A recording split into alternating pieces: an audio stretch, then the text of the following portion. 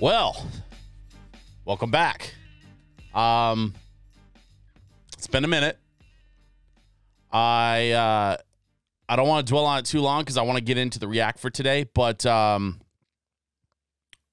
I I just want to give a quick thank you to uh, a creator that I spoke with who uh, helped kind of clear some things up for me uh, via email. I was actually really, really surprised that uh, this particular creator who has um, many, many, many, many, many followers and a, and a very busy YouTube channel uh, actually took the time to get back to me and help kind of sort out some questions that I had and, and help me kind of figure out uh, how I can go about getting back to doing this thing, which is uh, creating these React videos uh, uh, for for the YouTube channel, and uh, and so I have um, I have I have a big thanks to give uh, for that particular creator that I spoke with, uh, who will remain nameless for reasons. But uh, that being said, I have a react for you today, and uh, uh, you may notice that there's been some changes up in the corner. Uh, I am no longer doing Patreon, at least for the time being. Uh, it didn't make a lot of sense for me to have a Patreon account that I uh, wasn't creating any content for. Uh, largely because I've been spending most of my time on Twitch. I'm streaming on Twitch four nights a week, uh, as well as hanging out in uh, my Discord server. And you'll find links to both my Twitch and my Discord in the description down below. But um, this React today comes from uh, someone who is incredibly supportive on my Patreon, continues to be incredibly supportive in my React, in my uh, uh, Discord channel, and in my community uh, on Twitch. And so uh, we are going to start with a short list over the next several videos of reacts that have been requested by some incredibly supportive folks in my Discord community. And we're starting with this one, which is, well, you see the title. It's it's called Champagne Taste on a Beer Budget, and it's by an uh, a cappella group that goes by Home Free. I've never heard this.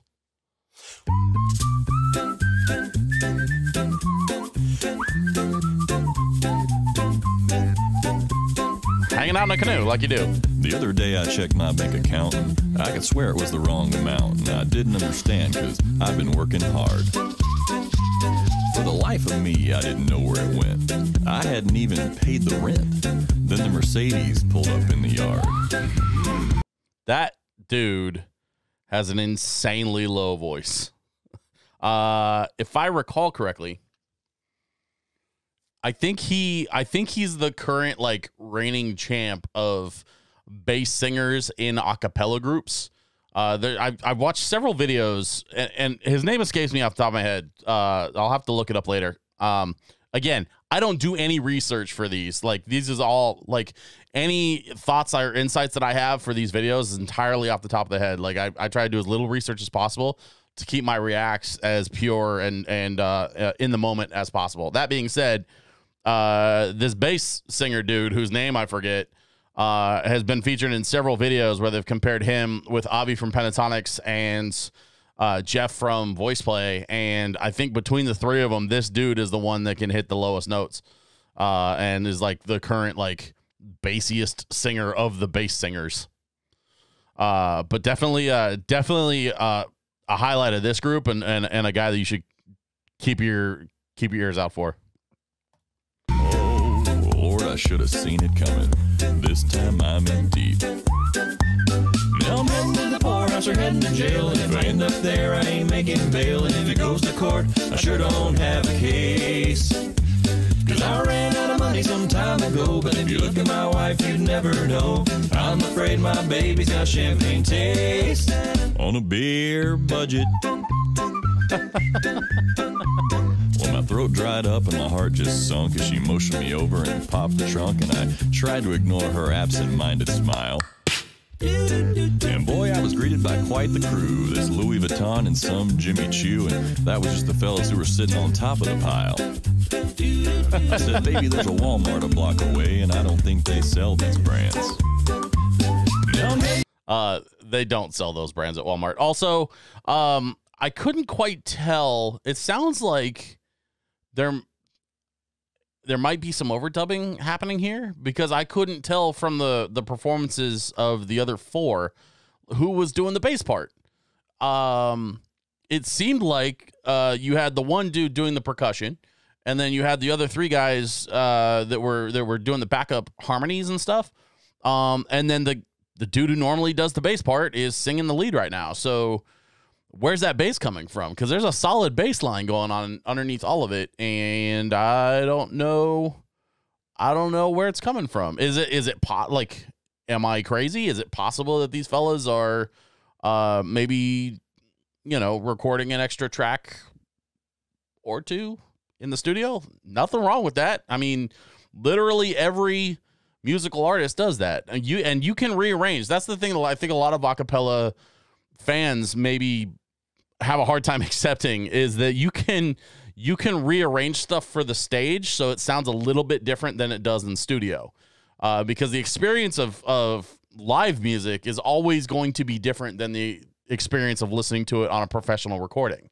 So, you know, if they chose to have him do the bass track and then also do the lead and sort of dub on top of himself for the purposes of this video and the and the studio recording, and then change up that arrangement for so they can perform it live, like there is absolutely nothing wrong with that.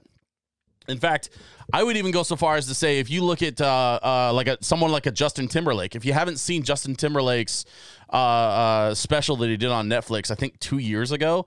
Uh, first of all, it's fantastic, uh, and second of all, you you see Justin on stage with an entire band and an entire production crew. They're putting on a huge, massive, like like elite level performance uh, in the in whatever whatever auditorium it was that they decked out or whatever stadium it was they decked out for this crazy show. Uh, but the the the takeaway from that performance is that none of the songs sound exactly like they do on the album. They all sound very close. They all sound very similar, but they're not exactly the same. And usually it's because you can retool arrangements for live performance so that the experience live is just slightly different than it is on the recording. If you want to hear the same thing that you're hearing on the recording, like you can listen to the recording, right? So it's totally okay. It is totally okay if they decided to add an extra track here so that he could do the bass and the and the lead at the same time. I'm super fine with that. In fact, I encourage it because it makes the home listening experience just a little bit better. And then when you go to see them live, you get to experience how they would rearrange and retool the song for a live performance and uh, and and it just creates a completely different experience. I think it creates something a little extra special for those that buy the ticket and and and make the trek to see the show. Now, mid pandemic, obviously, there's not gonna be any shows anytime soon, but uh, you know, this was all recorded and produced like well before the pandemic stuff. So we'll just we'll we'll go ahead and operate on the assumption that people at this point were still going to see them live in shows like normal else are heading to jail. And if I end up there, I ain't making bail. And if it goes to court, I sure don't have a case. I ran out of money some time ago, but if you look at my wife, you'd never know. I'm afraid my baby's got champagne taste. On a beer budget.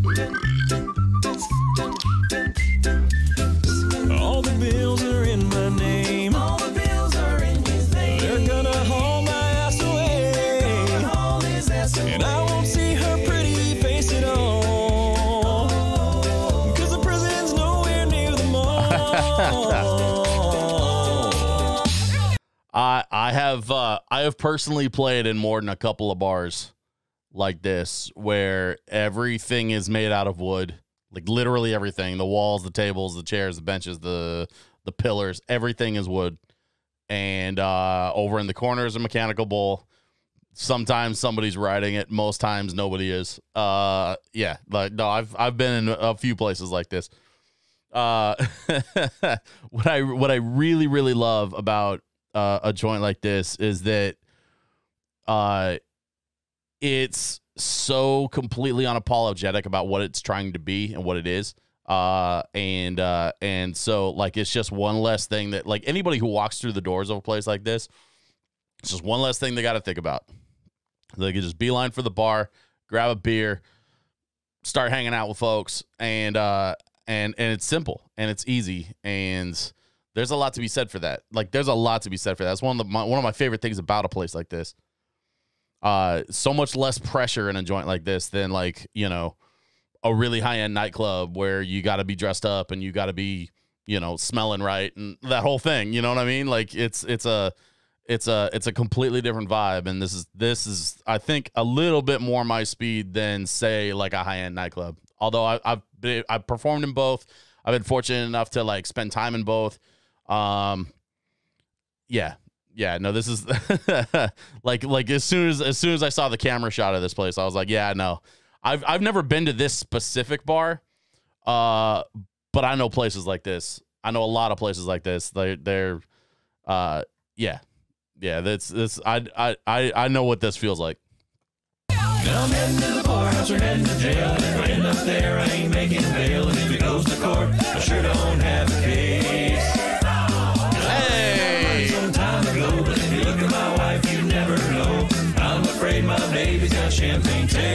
hold up, hold up. I know that guy. Back that up a sec. I'm afraid my baby's got champagne taste.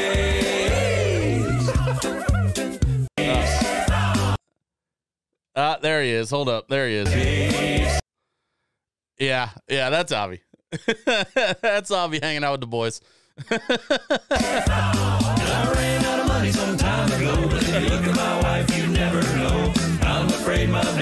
champagne taste. On a beer budget.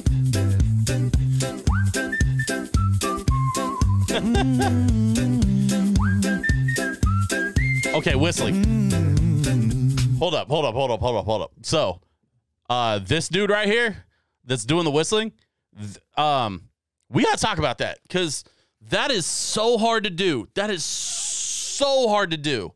Uh, first of all, um, there's something that a lot of people maybe don't understand about the human voice is that uh, there are there are literally two instruments that can slide between notes seamlessly. One is the trombone.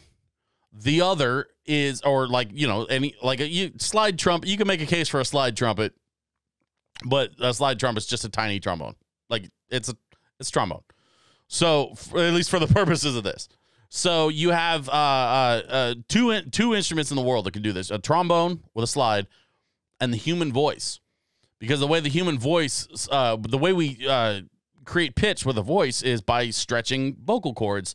Uh, the tighter we stretch the vocal cords, the higher the pitch. Right? It's just kind of like tuning a guitar string. Um, I mean, obviously, it's a bit more complicated than that, but just you know, simplifying for the sake of the explanation here. So, um, with whistling, you can do kind of that same thing because you're you're the way the uh uh uh the way whistling changes pitches is by um changing basically the shape of the inside of your mouth.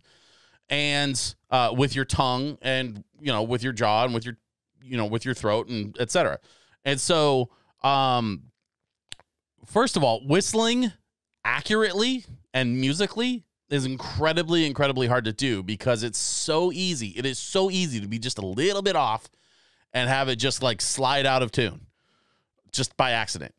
If you're you know if you overshoot the pitch or if you're you know you're trying to hit a certain a note and you uh, don't quite hit it you know you compensate too far one way or the other it could end up flat could end up sharp.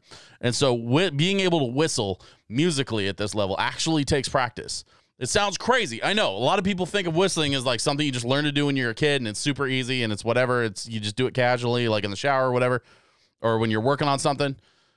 But to be able to do it accurately and musically like takes legitimate practice. And uh and then to be able to record it and this is where a lot of people um uh get confused when it comes time to actually sit down and, and whistle into a microphone. Because uh like i've got i've got anti i've got like anti popping and anti breath stuff on this mic but you can still hear my breath on the microphone if i blow right into it right even with all the like electronic stuff that I've got going on to try and prevent the the breath stuff on the mic. So what uh what it takes to record whistling accurately without all the breath in the microphone is a completely different studio setup. Uh, normally, with a singer, you'd have them right up on the microphone with a pop filter between uh, their mouth and the mic to help you know cut down on the on the the breath pops and stuff, the the air movement coming off the off the mouth when you're singing. And then you just want to capture the tone of the singing. You don't want to capture all the air coming out of their mouth. With whistling, it's literally all air. And so you have to back them up and maybe even like set the mic off to one side. And then by doing that, you're able to, and using the right kind of microphone, you're able to capture all of the tone and all of the quality of the whistle without any of the breath. And so uh, uh, I don't think people give enough credit to guys who can whistle musically and accurately on a recording like this. And I, I don't even want to think about how many takes this took to get the record to get it like to get it right. Also, uh, it is just now occurring to me that back here in the on the bowl, Avi is just chilling and raising a beer. I'm wonder. I'm starting to wonder. I was I was wondering about like an overdub on the bass track. I wonder if Avi was actually like. I wonder if he was doing the bass. Maybe. It uh it doesn't say anything that I know of about Avi being featured on the track. Like I think maybe he was just kind of hanging out the day they shot the video. Uh, possibly. I, I don't know, but um, but that's him back there on the bowl, just chilling and drinking and uh oh oh. By the way, most places uh no drinks allowed on the bowl. That's that's how messes happen.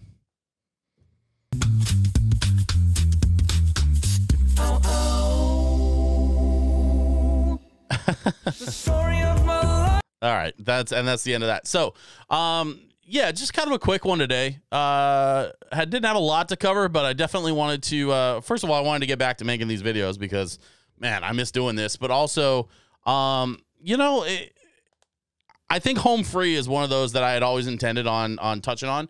Uh, definitely home free. You're gonna see some VoicePlay from me pretty soon. Um, Pentatonix. as much as I love Pentatonix music, uh, I I need to be better about branching out beyond just the just the Pentatonix fandom. Um, and now I know there was a lot of folks that were asking me for really specific songs or from or for really specific artists in a lot of the comments that I've been getting over the last several months. Um, as a matter of fact, uh, uh, I, I don't I think I forgot to mention I I just hit three thousand subs uh, recently, and I haven't produced a, a video in in at least five months. So um, I have to thank everybody. Thank you so much for watching the videos and for continuing to uh, take an interest in the channel, encouraging me to get back to making more of these because I, I really, really like doing it. Uh, they're a lot of fun. And, um, you know, as long as I can keep the legal stuff in check, which I, I think I can, uh, then I'll be able to do a lot more and we'll be able to build we'll be able to continue to build this channel into something interesting. Eventually, I want to do other content. I've got uh, podcast stuff I'm going to be releasing very soon. I have, um, you know, ideas for tech videos that I want to do. So, like, you're going to see other content in addition to the music reacts. But if the music reacts, uh, if I can continue to be successful with those, then I want to continue to do them in addition to the other content. And hopefully, you all are enjoying them as much as I am. Because, uh, man, these are a lot of fun. Home free, champagne taste on a beer budget. Like, it's it's such a it's such a, a a down home, straightforward country tune. Uh, but it's a lot of fun. It's got a great vibe. It's really upbeat, and uh, and I, I really really appreciate what the boys are doing here. So, um, do yourself a favor, especially if you think I talk too much, which apparently a few of you think I talk too much in these. Just go watch. I'm gonna link the original video uh, in my in my description. So just go watch the video, the original. Give them the views because they you know they did put in the work. They deserve the views uh, and uh, you know, uh, watch it without me talking in between, and and and you know, you're you're more than welcome to do that. But that's it for me on this one. Do me a favor, don't forget to add me on Facebook, Instagram. Uh, dot com slash DJ Switch PDX. I'm also on twitch.tv slash DJ Switch PDX four nights a week right now Monday, Wednesday, Friday, and Sunday. And uh, and I've got something different going on all four nights of the week on Twitch. So uh, stop by the Twitch channel if you have a chance and check out what I got going on over there. In the meantime, I will see you all on the next one.